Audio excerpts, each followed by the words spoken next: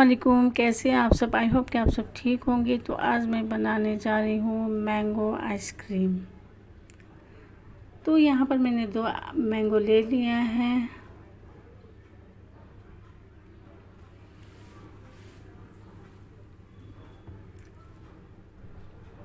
तो चलिए फटाफट से इसको छील लेते हैं।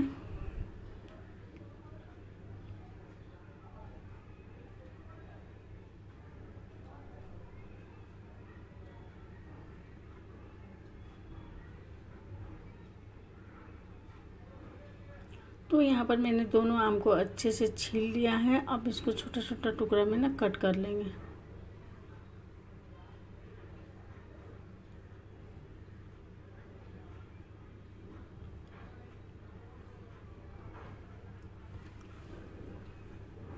तो इसको वैसे मिक्सर में पीसना है तो जैसे भी कट कर सकते हैं, लेकिन छोटा छोटा कट करने से अच्छा होता है।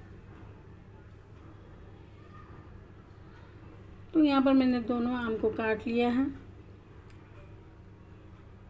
अब मैं इसको मिक्सर में डाल करके तो इसका एक फाइन पेस्ट बना लूँगी।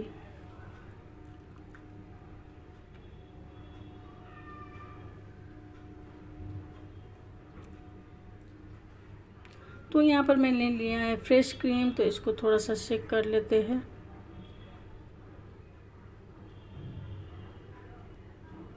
क्रीम को मैंने एक बाउल में निकाल लिया है।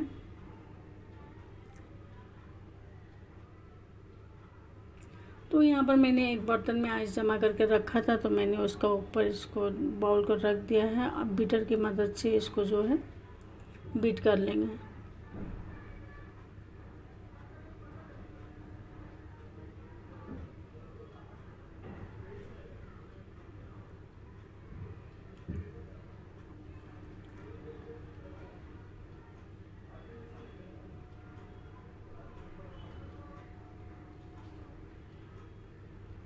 तो यहाँ पर मैंने इसको ना अच्छे से थोड़ी देर के लिए अच्छे से बीट कर किया है।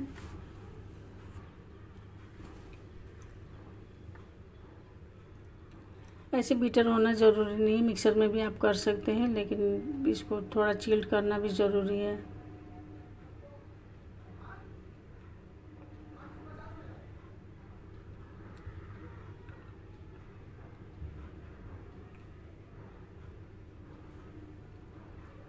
तो यहाँ जितना हो सके मैंने अच्छे से बीट कर लिया है इसको। अब जो भी आम का मैंने प्यूरे बना के रखा था तो मैं इसको डाल दूँगी इसमें।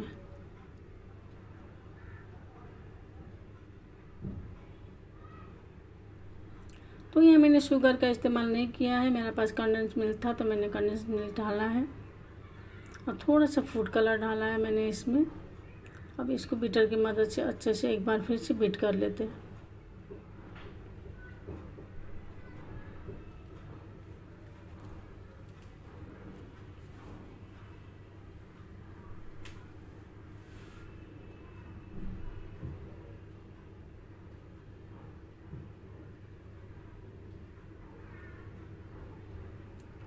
तो यहाँ मैंने अच्छे से बीट कर लिया, मुझसे एक गलती हो गया, मैंने यहाँ पे ड्राई फ्रूट पहले ही ढाल दिया था थोड़ा सा तो फिर मुझे इसको सेमी सेट करके तो एक बार फिर ब्लेंड करना था।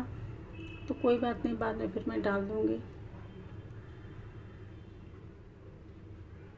तो इस तरह से इसको ना मैंने बहुत ही अच्छे से स्मूथ बना लिया है।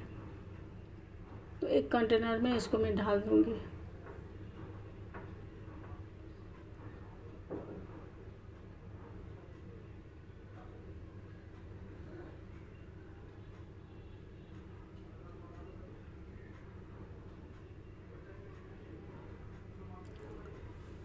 तो सब बैटर को मैंने कंटेनर में ढाल लिया है अच्छे से।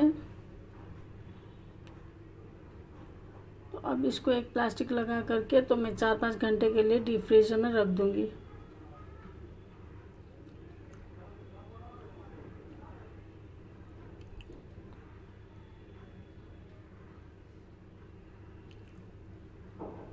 तो यहाँ पर मैंने डीप फ्रीज़र में रख दिया है। तो मिलते हैं चार पाँच घंटे बाद।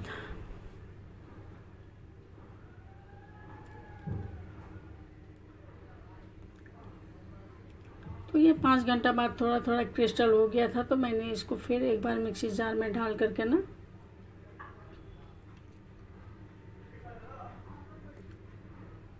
तो इसको चला मिक्सर में मैं अच्छे से एक बार फिर से ब्लेंड कर लूँगी।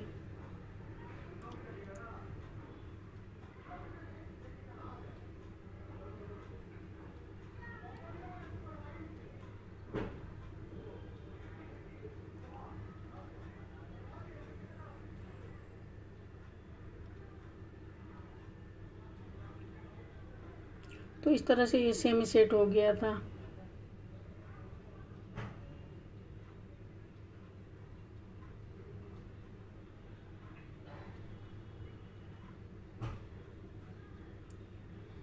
तो यहाँ पर मैंने इसको ना अच्छे से ब्लेंड कर लिया, देखें, बहुत ही स्मूथ हो गया। है तो मैंने कंटेनर चेंज नहीं किया, उसी कंटेनर में मैंने डाल दिया है, फिर से इसको सेट करना है।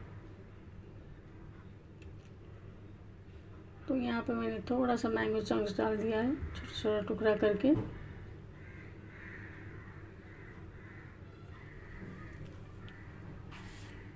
तो इसको एक बार ना चम्मच से अच्छे से मिक्स कर लेते हैं। तो आई होप कि आज का रेसिपी आप लोगों को अच्छा लगा होगा। अच्छा लगा होगा तो लाइक कर दें शेयर कर दें सब्सक्राइब कर दें। तो यहाँ मैंने जो भी थोड़ा बहुत ड्राई फ्रूट था तो उसको मैंने ऊपर से ढाल दिया है।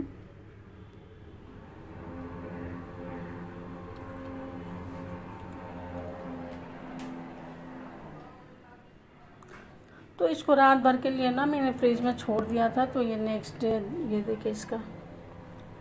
मैं दिखाती हूँ आप लोगों को खोल के। ये कितना अच्छा सेट हो गया और बहुत ही अच्छा लग रहा है ये। तो मैं आप लोगों को ना सॉल्व करके दिखाती हूँ।